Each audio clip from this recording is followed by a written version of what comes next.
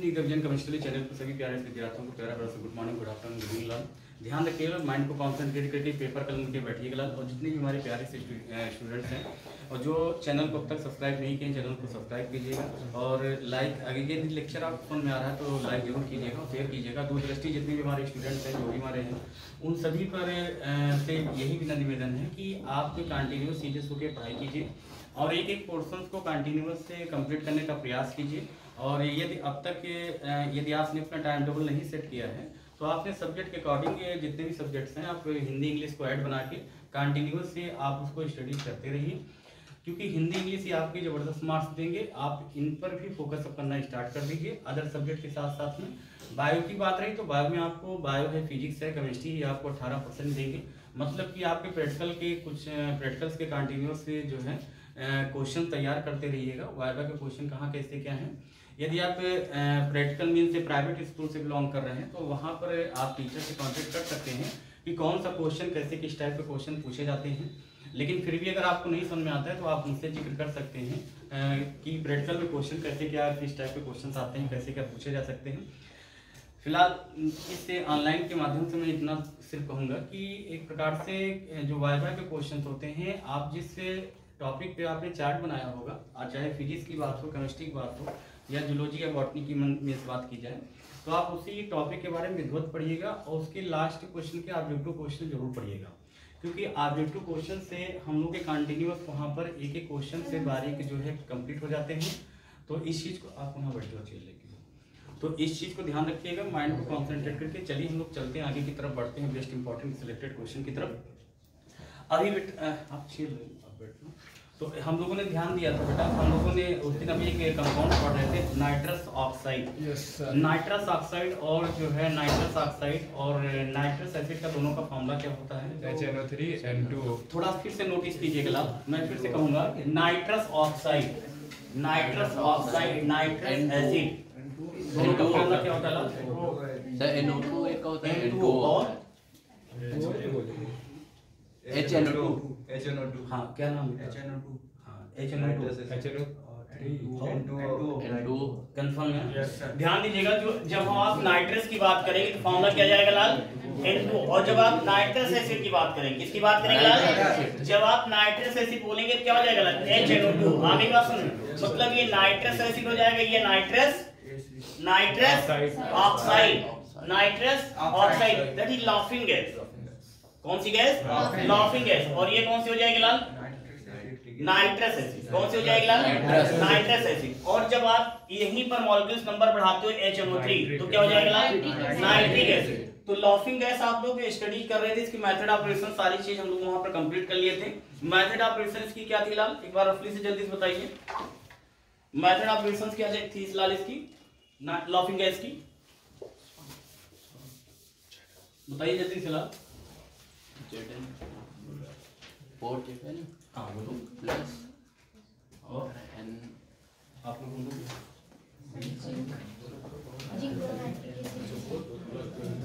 उसकी chemical properties हम लोग पढ़ रहे फोर हम्म? फोर जेडन फोर जेडन करके था.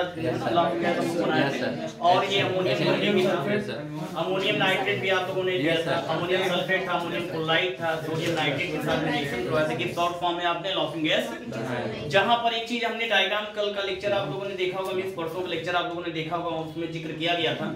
लेकिन फिर भी एक बार रफली से समझ लीजिएगा जो हम लोग लॉफिंग गैस देते थे इसकी केमिकल प्रॉपर्टीज़ की बात करेंगे लॉफिंग गैस की बात करेंगे। किसकी बात करें बेटा? ये लॉफिंग गैस जो होता है बेटा एक चीज़ कंफर्म नहीं ये न्यूट्रल होता है। ये कैसा होता है बेटा? ये उदासीन किसके प्रति होता है बेटा ये? लिटमस पेपर के प्रति होता है। Yes. किसके प्रति होता है? मतलब एसिडिक बेसिक नेचर को तो मतलब ये जाएगा न्यूटन मतलब ये उदासीन होता है। क्लियर किस पे मतलब किस, किसके प्रत लाल? लिटमस पेपर के थ्रू है ना? ध्यान दीजिएगा। इसकी लॉफिंग गैस की बात आई हमने आपको बताया था। कि जब इसको हम लेबोरेटरी लेबोरेटरी तरीके से जब हम लोगों ने ये प्रयोगशाला विधि से मतलब कि ये लॉफिंग गैस बनाए थे तो लॉफिंग गैस जब बनाए गए तो वहाँ पर आपको टोटल चैम्बर नंबर कितने बताए गए थे पाँच। बताए गए थे पहले चैम्बर में बताया गया था जिसमें हम लोग क्या करते हैं? अमोनियम बनाते हैं। Ammonium sulphate ammonium sulphate and sodium nitrate करते हैं। जब इनको हम हीट करते हैं तो लास्ट में प्रोडक्ट क्या बनता है लॉफिंग गैस बन जाता है। लेकिन लॉफिंग गैस के साथ साथ में हम लोगों ने एक इसके साथ में कई सारी अनप्योर सब्सटेंस भी प्रेजेंट होते हैं। कई प्रकार की अशुद्धियाँ भी प्रेजेंट होती हैं। जैसे कुछ अशुद्धियों के नाम बताएँगे आप। क्या हो जाएगा? इसमें सबसे पहला क्या प्रेजेंट होगा क्लोरीन क्लोरीन फिर क्या प्रेजेंट होगा लाल? बोलिए। ऑक्साइड हाँ नाइट्रिक और फिर फिर अगला लाल? NH3 ये अमोनिया रफली ऐसे समझ लीजिएगा। ध्यान दीजिएगा बेटा ये लाल। ये जो N2 हम लोगों ने बनाया था वहाँ पर तीन प्रकार के सब्सटेंस प्रेजेंट थे जिनमें से क्लोरीन नाइट्रिक और अमोनिया। इन अशुद्धियों को दूर करने के लिए स्टेप बाय स्टेप किसका यूज़ करते थे? का। और शांत सल्फ्यूरिक एसिड का यूज़ करते थे। क्लियर रफली यहाँ ऐसे समझ लीजिएगा।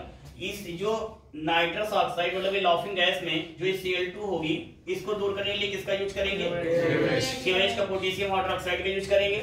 और इसमें जो ये अनप्रेशराइज्ड प्रेजेंट है किसका यूज़ करेंगे FeSO4 करेंगे और इसमें अमोनिया जो होगी तो कॉन्सेंट्रेट फॉर्म में क्या लेंगे लाल? H2SO4 एक चीज़ ध्यान रखिएगा ये जो सल्फ्यूरिक एसिड होता है लाल आईसी केमिस्ट्री में सबसे प्यारा पॉइंट है जो सल्फ्यूरिक एसिड होता है एक प्रकार से एक ऑक्सीडाइजिंग का वर्क करता है एंड कैटलाइज्ड वर्क ऑक्सीडाइजिंग ये दोनों वर्क करता है। क्लियर ये ऑक्सीडाइजिंग मतलब कि ऑक्सीकारक और ये उत्प्रेरक। ठीक है? जब आपसे कोई भी क्वेश्चन वाइवा में कहीं पूछा जाए कि सल्फ्यूरिक एसिड के अंदर दो प्रॉपर्टीज़ कौन सी होती है तो आप बोलोगे oxidising and catalysed form oxidising and catalysed मतलब कि एक ऑक्सीकारक और उत्प्रेरक दोनों गुण इसके अंदर प्रेजेंट होते हैं। सल्फ्यूरिक एसिड एक ऐसा होता है। और सल्फ्यूरिक एसिड में एक खास चीज़ आप लोग जानते हैं ये क्या? क्या होता है? ये स्ट्रॉन्ग स्ट्रॉन्ग ये स्ट्रॉन्ग एसिड होता है। स्ट्रॉन्ग एसिड होता है लाल। क्या होता है लाल ये? स्ट्रॉन्ग एसिड होता है। स्ट्रॉन्ग एसिड का मतलब ये सबसे ज़्यादा स्ट्रॉन्ग होता है इसीलिए इसको बोलते हैं रसायनों का सम्राट। रसायनों का सम्राट। ये सब एसिडों का एसिड होता है इसलिए इसको बोलते हैं क्या? रसायनों का सम्राट। इसे आयला ब्यूटाइल भी कहते हैं। इसे कसीस जिसे हिंदी कहा जाता है कसीस का तेल। और सल्फ्यूरिक एसिड का H2SO4 का आईयूपीएसी नेम क्या होता है? सल्फ्यूरिक एसिड ये सारे कॉमन से पॉइंट्स हैं जो वाइवा में आपके काम आ सकते हैं। अगर किसी ने डायग्राम से रिलेटेड बनाया होगा तो क्लियर या कहीं पर एग्जामिनर पर डिपेंड करता है कि क्वेश्चन कहाँ से पुटअप कर सकता है। आपके डायग्राम मींस वहाँ पर जो डायग्राम बनाते हैं आप चार्ट में क्वेश्चन जो भी पूछे जाते हैं वो चार्ट से ही पूछे जाते हैं। चार्ट्स में जो आपने डायग्राम बनाया होगा उस डायग्राम से क्वेश्चन वहाँ से निकाले जाते हैं। जैसे सपोर्ट दैट आपने डायग्राम में कहीं पर सल्फ्यूरिक एसिड का ज़िक्र होगा तो क्वेश्चन वहाँ से पूछ सकता है। या हो सकता है वहाँ पर क्या है एफएसओ में पूछ सकता है कि दैट इज़ इनमें से कौन सा जो ये कंपाउंड्स आपका दिया गया है। इनमें से कौन सा वेरिएबल वर्क कर रहा है? ये वेरिएबल वर्क करेगा कि ये वाला एलिमेंट्स करेगा कि ये आपका एलिमेंट्स करेगा। तो क्वेश्चन ये भी पूछ सकता है कि वेरिएबल क्या है? तो वेरिएबल की हिंदी आप लोग समझते हैं जिसको बोलते हैं परिवर्तित।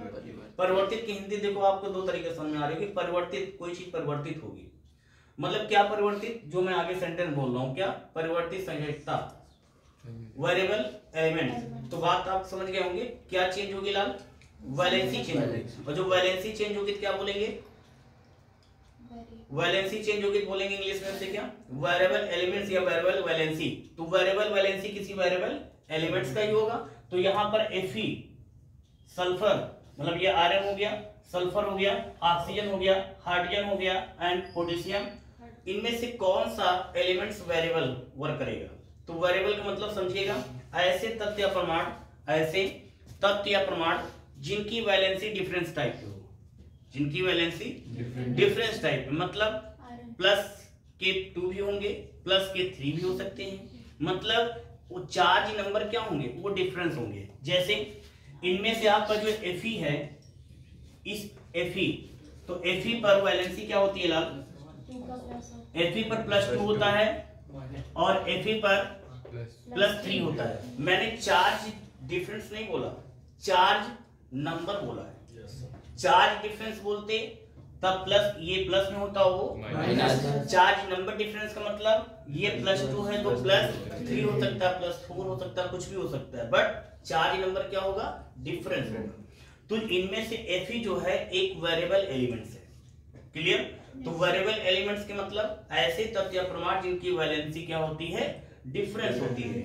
Any two compounds depend of any जैसे फॉर एग्जांपल FeCl2 FeCl3 तो दोनों में वैलेंसी Fe की क्या होगी? चेंज एक में प्लस टू होगी दूसरे में प्लस थ्री होगी। ये बात समझ में आ गई ना? तो कंफर्म हो गया ना? ओ एन नंबर दोनों में क्या होगी? चेंज होगी। ऑक्सीडेशन नंबर क्या होगी। चेंज होगी। क्योंकि हम लोगों को पता है कि जब वैलेंसी को प्लस और माइनस से शो नहीं किया जाता है ओए नंबर को ही प्लस और माइनस से शो किया जाता है। जैसे जब आपसे कोई पूछता है इनकी वैलेंसी तो यहाँ पर टू एफ़ की थ्री जब आपसे कोई पूछे कि इनका ओए नंबर क्या होता है ऑक्सीडेशन नंबर क्या है तो आप कहोगे आगे प्लस लगा दूँगे। Plus. जैसे अभी पहले हमें पिछले लेक्चर में बताया गया जैसे आपसे कोई पूछता है कि सोडियम की वैलेंसी तो आप बोलते हो वन क्योंकि outermost shell in present of maximum electrons number that is group number या आप बोलते हो कि वैलेंस इलेक्ट्रॉन्स। कहने मतलब सोडियम का जब इलेक्ट्रॉनिक कॉन्सेशन करते हो या एनी टू एलिमेंट्स का आप इलेक्ट्रॉनिक कॉन्सेशन करते हो तो उनके आउटर मोस्ट सेल में जितने भी इलेक्ट्रॉन्स प्रेजेंट होते हैं तो वो वैलेंस इलेक्ट्रॉन कहलाते हैं और वो वैलेंस इलेक्ट्रॉन जिस सेल में प्रेजेंट होते हैं, उनको वैलेंस सेल कहते हो। और वैलेंस सेल जिस सबसेल में प्रेजेंट होता है, उसे आप वैलेंस सबसेल कहते हो मींस यही निष्कर्ष निकल रहा है कि आउटर मोस्ट सेल में जितने भी इलेक्ट्रॉन्स प्रेजेंट होंगे वो वैलेंस इलेक्ट्रॉन कहलाएँगे वो संयोजी इलेक्ट्रॉन्स कहलाएँगे। अब कितने इलेक्ट्रॉन्स एक दूसरे को पार्टिसिपेट कर रहे हैं कितने दे रहे हैं वो उनकी वैलेंसी नंबर जैसे सोडियम के आउटर मोस्ट सेल में मैक्सिमम इलेक्ट्रॉन्स नंबर कितने प्रेजेंट होते हैं? वन प्रेजेंट होता है। अब जब आपसे कोई पूछे कि सोडियम का ओएन नंबर क्या है सोडियम का ऑक्सीडेशन नंबर क्या है तो आप वन से पहले प्लस लगा देना। इलेक्ट्रॉन अगर ट्रांसफ़र करता है तो आप प्लस लगा देना। इलेक्ट्रॉन यदि ट्रांसफ़र किया गया इलेक्ट्रॉन को यदि वो ले रहा है तो माइनस लगा। देना सेम ऐसे ही NaCl में। जब आपसे कोई पूछेगा Na की वैलेंसी ऑक्सीडेशन नंबर क्या है तो आप क्या कहोगे? Plus oxidation number plus one क्योंकि ये इलेक्ट्रॉन क्या कर रहा है ये ट्रांसफ़र कर रहा है। और क्लोरीन की जब आपसे कोई पूछे कि ऑक्सीडेशन नंबर क्या है तो क्या बताओगे?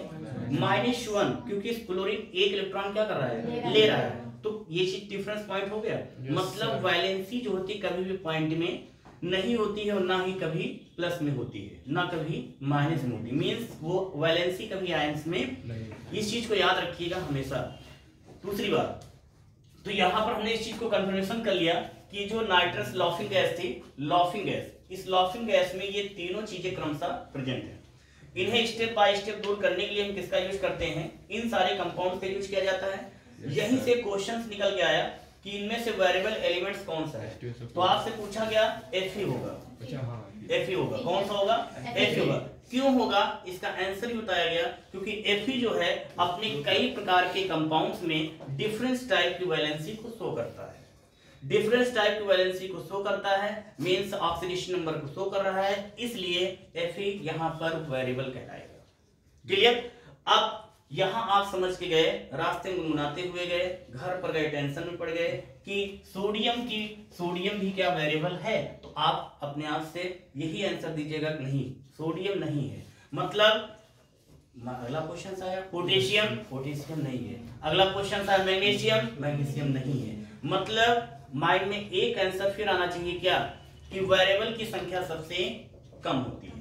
ये बात सब पे लागू नहीं। नहीं होती। जिसकी संख्या कम होती है उसको बोलते हैं एक्सेप्शन अपवाद में चीज़ें। क्लियर तो वेरिएबल तत्वों की संख्या बहुत ही कम है। क्लियर हो गया? जैसे लेड है पीबी तो लेड पर कभी प्लस टू देखते हो कभी आप फोर देख लेते हो शायद देखा होगा कभी। कुछ ऐसे एलिमेंट्स या क्रोमियम या कुछ ऐसे एलिमेंट देखोगे कि डिफरेंस उनकी वैलेंसी होती है। क्लियर लेकिन जब कंपाउंड पूछा जाएगा कि एफ़ से रिलेटेड किसी कंपाउंड का नाम बताइए तो आप कहेंगे एफ़ टू ले लो एफ़ थ्री ले लो। दोनों में एफ़ की वैलेंसी क्या है? डिफरेंस एक में प्लस टू होगी दूसरे में। लेकिन है तो एफ़ लेकिन दोनों की वैलेंसी क्या हो गई लाल? डिफरेंस हो गई। तो ये डिपेंड करता मतलब यहाँ पर एक चीज़ कंफर्म हो गया इनमें से इन सभी में से एफ़ एक वेरिएबल एलिमेंट है। वेरिएबल एलिमेंट क्यों है? क्योंकि वेरिएबल वैलेंसी को शो कर रहा है। वेरिएबल वैलेंसी को क्यों शो कर रहा है? मतलब इसकी ऑक्सीडेशन नंबर भी वेरिएबल है। मतलब डिफरेंस है। एक में प्लस टू दूसरे में प्लस थ्री वैलेंसी जब कोई पूछेगा तो आप कहोगे एक में एफ़ की वैलेंसी टू दूसरे में एफ़ की वैलेंसी थ्री जब ऑक्सीडेशन नंबर पूछेगा तो टू से पहले प्लस लगा देना और थ्री से पहले भी प्लस लगा देना। क्यों? प्लस क्यों लगाएँगे? क्योंकि ये इलेक्ट्रॉन का ट्रांसफ़र है। क्लियर और माइनस क्यों लगते हैं? क्योंकि ट्रांसफ़र किए गए इलेक्ट्रॉन को एक्सेप्ट किया जाता है। आगे बात समझ में? क्लियर हो गई बात। चलिए अच्छा। तो ये सारे पॉइंट्स आपको समझ में आ गए थे? सारे पॉइंट समझ में आ गए फ़िलहाल अब जब हम बात करते हैं जब ये सारे पॉइंट डायग्राम इसका पिछले लेक्चर में देख लीजिएगा लाल। पिछले लेक्चर में देख लीजिएगा इसका डायग्राम बढ़िया बनवाया गया है। ठीक है ना? अब बात करते हैं ये नाइट्रस ऑक्साइड जो ये लॉफिंग मींस ये जो लॉफिंग गैस है लॉफिंग गैस की फ़िज़िकल प्रॉपर्टीज़ आप लोग पढ़ चुके हो। केमिकल प्रॉपर्टीज़ की तरफ़ क्या हाल है? मुझसे पूछो। डायग्राम तो लेक्चर देखना। उस पर जो आप डिस्टर्ब आप ही उसको कर रहे हो। सबको डिस्टर्ब पूछ रहा है। वो नहीं पूछ रहा आप पूछ रहे हो। हमेशा लेक्चर देखो ना यहाँ जब जितनी देर पढ़ो तो मन लगा किसी को पढ़ो। बाकी किसी से कोई वार्तालाप नहीं। रियल लाइफ तो ये होती जो फ्रेंड सर्किल नहीं। नहीं education life no friend circle ये वायरस होते हैं। इनसे बच कर हो अगर कैरियर भी बनाना है तो। रियल फैक्ट से नहीं मानोगे चार साल बाद मानोगे मेरी बात। ठीक है? ये फैक्ट से मान लो मेरी बात आज से। कंफर्म है? नहीं मानोगे रियल बताओ चार साल बाद फील होगा ये फीलिंग्स आएगी सच कहा था किसी ने ऑनलाइन क्लास में। नहीं यकीन होगा लेक्चर देख लेना उस पीरियड में ध्यान रखना। फिर अंततः वही है कि समय चला जाएगा कहोगे क्या हुआ? समय तो गया। चलिए अच्छा ध्यान देंगे। अब बात करते हैं इसके फ़िज़िकल प्रॉपर्टी सारे आपके कंप्लीट हो गए। थे क्लियर जब फ़िज़िकल प्रॉपर्टीज़ आपके कंप्लीट हो गए थे फ़िज़िकल प्रॉपर्टीज़ क्या होते हैं चलो बोलो कोई बोलेगा नहीं। क्या नाम होगा अनुपम। फ़िज़िकल प्रॉपर्टी सारी बताओ। कंटिन्यूअस पढ़ाई करते हो सभी लोगों को। बताओ फ़िज़िकल प्रॉपर्टी क्या होती है?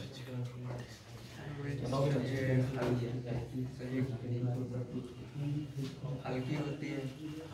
और सर ये मतलब में थोड़ी मीठी टाइप के होते हैं होती है।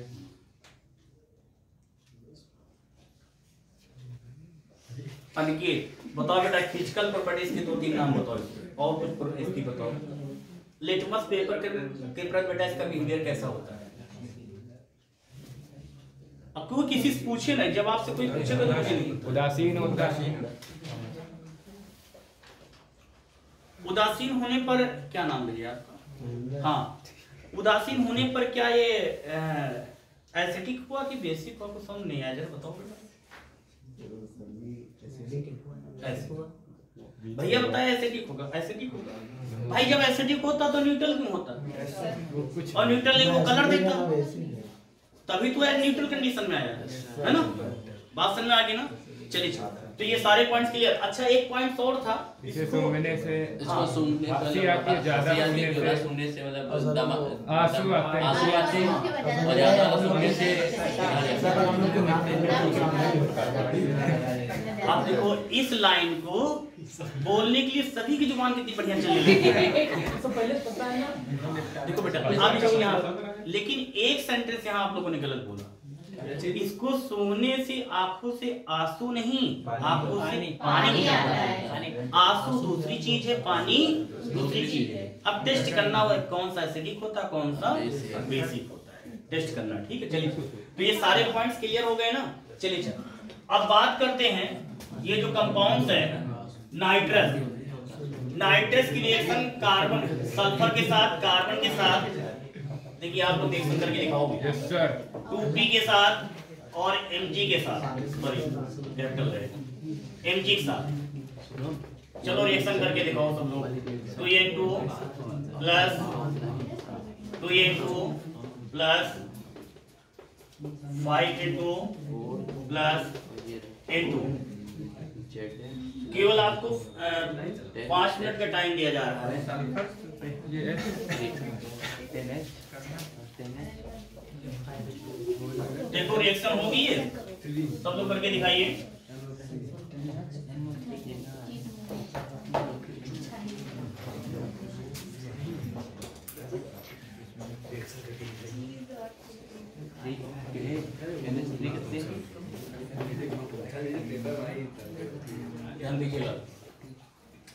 क्या होता है जब हाँ ये चेक करूँगा आपके नोट्स को ऐसे ऑनलाइन दिखाऊँगा। सभी के नोट्स को देखूँगा, दो मिनट का टाइम दे रहा हूँ आपको। जल्दी से कर देंगे स्टार्टिंग पहली रो से होगी। और आपके नोट्स को ऑनलाइन ऐसे दिख रहे हैं भैया देखो हमारे स्टूडेंट्स का बट हाँ बिल्कुल।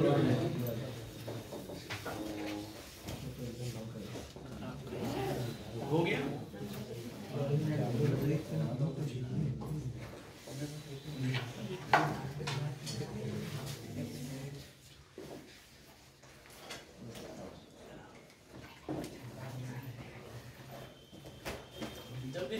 क्या बन रहा है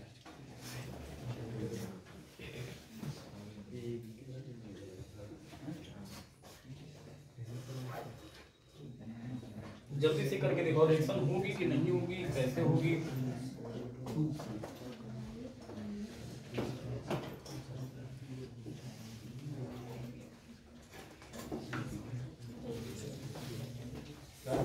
पहली वाली देखी चाहिए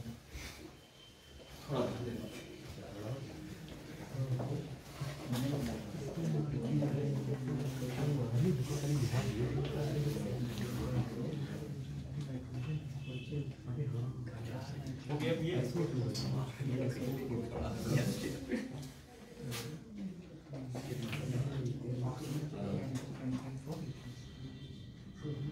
किसका हो गया? भाई पहले दिखाएगा कौन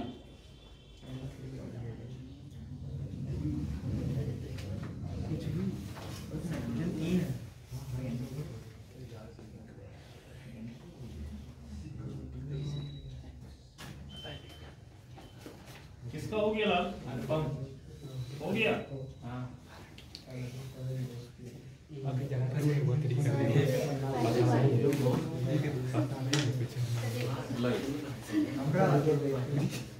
पीछे पीछे पीछे।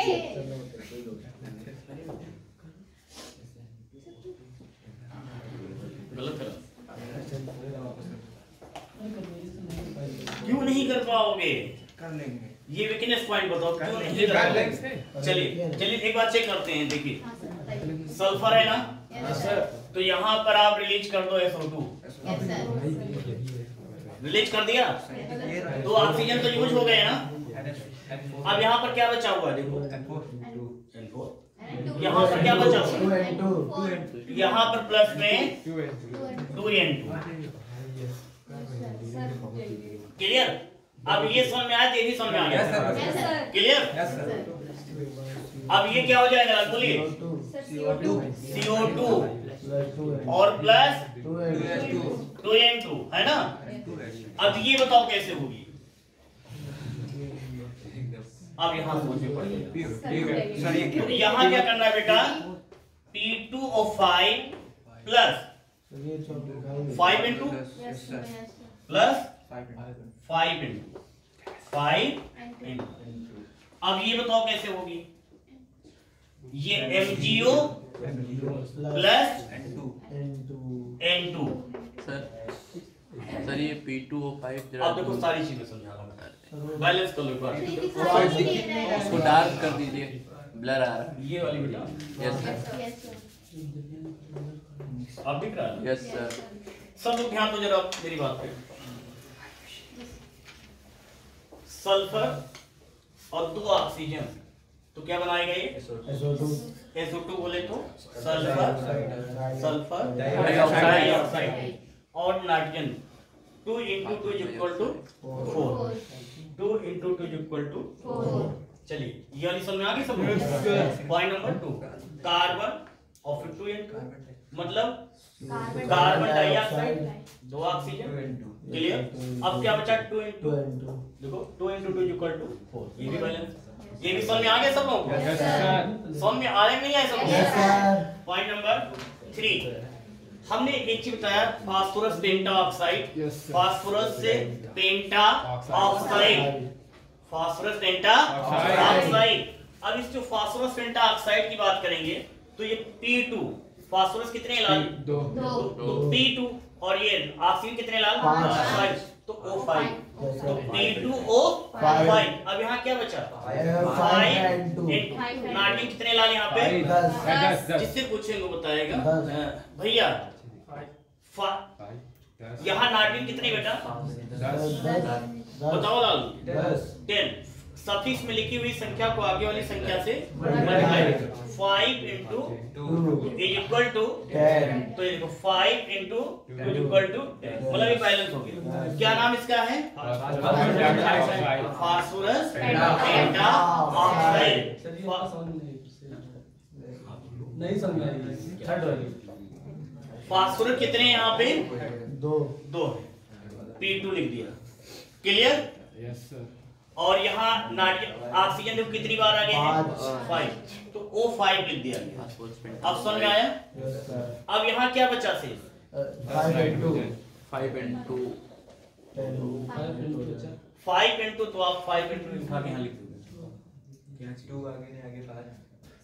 टू ओ फाइव है। फिर से देख लो भैया। जो किया नहीं सर ये हमने किया नहीं। हाँ। मतलब क्या पी के आगे टू लगा है? और यहाँ सब अच्छा एक आगे लगवाया एक तब वो मुझे ध्यान रखना। ये जो कंपाउंड्स है ध्यान देना सब लोग। हेस यू हेड हेड असोन सबको भी बताना। इसी चीज़ ये रिएक्शन देखो यहाँ पर। यहाँ दिख रहा लाल? हाँ ठीक है।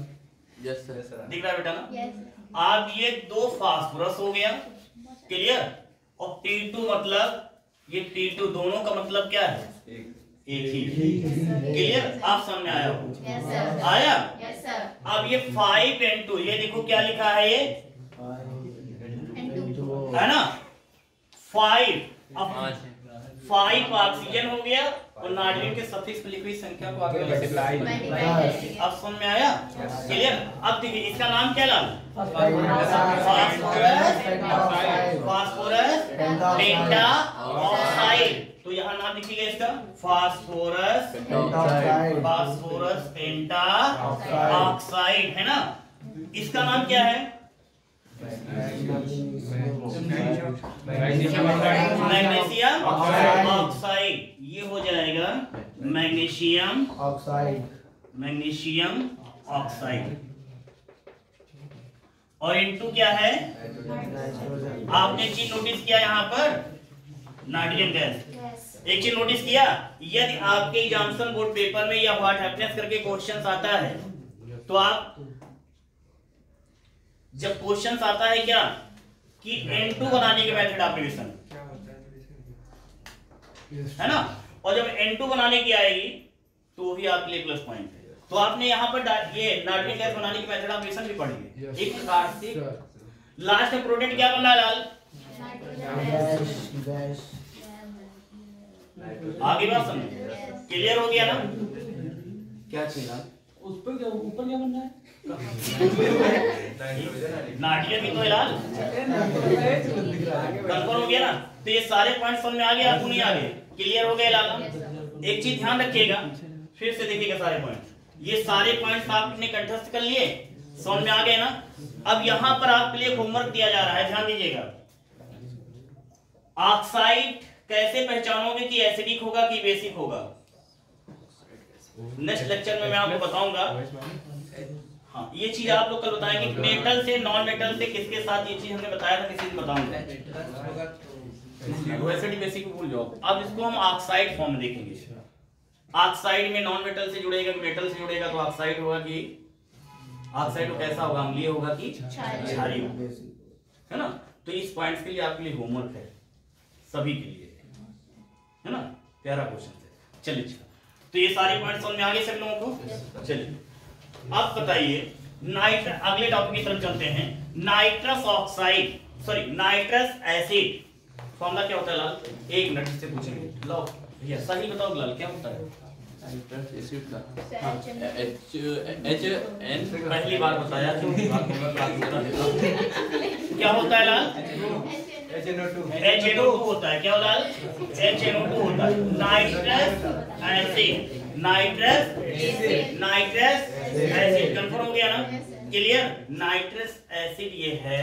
तो इसकी ये कैसा कंपाउंड होता है इंट्रोडक्शन इसका लीजिए। कैसा कंपाउंड होता है लाल ये किस टाइप ये स्टेबल कंपाउंड्स है कि अनस्टेबल कंपाउंड्स है? ये कैसा कंपाउंड है? पहली चीज़ माइंड में सेट कर लीजिएगा। ये अनस्टेबल कंपाउंड है। माइंड में सेट कर लिए ये अनस्टेबल कंपाउंड ये अस्थायी यौगिक होता है। क्लियर क्यों, कैसे, क्या होता है? इस टॉपिक के लेक्चर में लास्ट में बताऊँगा। आप अगर ध्यान से बात उतर जाए तो आपको क्वेश्चन ज़रूर कीजिएगा कि क्यों होता है ऐसा? ठीक है ना ध्यान रखिएगा चलिए चलिए। अब यहाँ पर सीरियस होके लाल ये लाल सब लोग सीरियस होके पढ़ लो। पढ़ने में आपको अच्छे हो। इसका स्ट्रक्चर बनाया था स्टेबल स्ट्रक्चर नहीं ऐसा नहीं होता कि स्ट्रक्चर किसी का बन रहा है तो स्टेबल हो गया अनस्टेबल उसका बिहेवियर होती केमिकल प्रॉपर्टीज़ के लिए ठीक है ना? नाइट्रस एसिड की कोई एक मेथड ऑफ़ रिएक्शन बताइए सभी लोग नाइट्रस एसिड की कोई एक बताइए कंपाउंड कोई एक मेथड ऑपरेशन बताइए कि केवल आपसे एक पूछ रहा हूँ।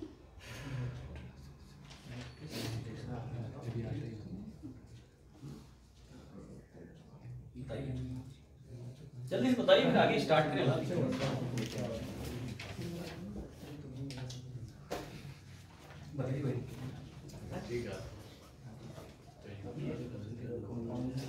कंपाउंड बताओ, हमने पढ़ाया, समझाया आपको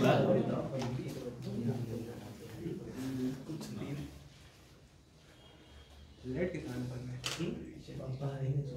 कोई एक कंपाउंड हमको बताइए आप बोलोगे मैं लिखूँगा बताइए कैमरा आपको की तरफ़ घुमा दूँगा आप लोग बताएँगे?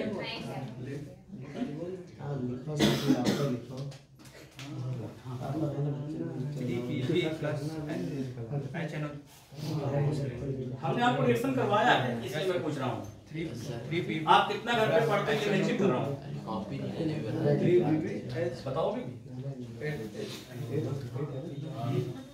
three P B plus H H भी लिख के हमने थ्री पी बी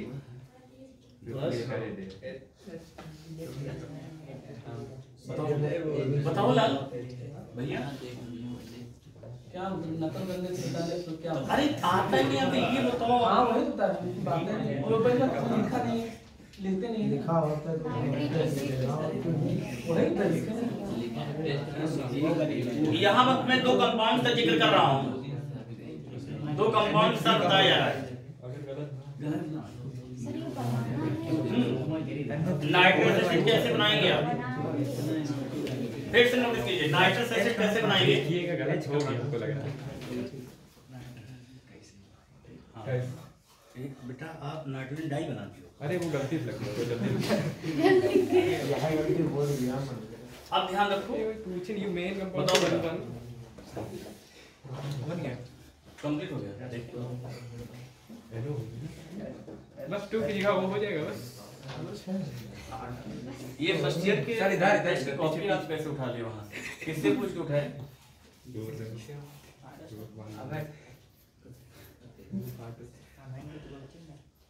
क्या बनाया लाल इसमें आपने?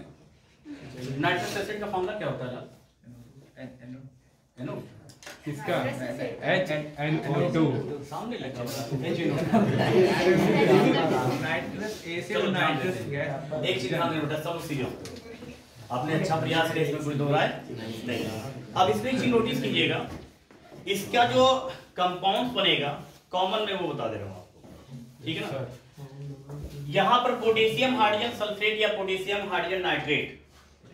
Potassium, hydrogen nitrate. अब कैसे क्या होगा? और दूसरी बात। ये के, पोटेशियम के साथ रिएक्शन करेगा एंड सोडियम के साथ रिएक्शन करेगा। अब एक कौन सा ऐसा कंपाउंड होगा जो पोटेशियम के साथ रिएक्शन करेगा या सोडियम के साथ रिएक्शन करेगा? बताएँगे आप?